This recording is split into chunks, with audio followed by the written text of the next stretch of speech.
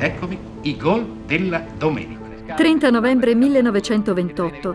Nasce a Genova Enzo Tortora, conduttore televisivo e radiofonico. Assunto dalla RAI a soli 23 anni, lavora allo spettacolo Campanile d'Oro. Del 1956 è la sua prima apparizione televisiva, ma il successo arriva nove anni dopo con la conduzione della Domenica Sportiva e della prima edizione dei Giochi Senza Frontiere. Nel 1977 Tortora assume la conduzione di Portobello, raggiungendo l'apice del suo successo. Il 17 giugno 1983 Tortora viene arrestato in seguito a dichiarazioni rilasciate da alcuni collaboratori di giustizia con l'accusa di associazione per delinquere di stampo camorristico.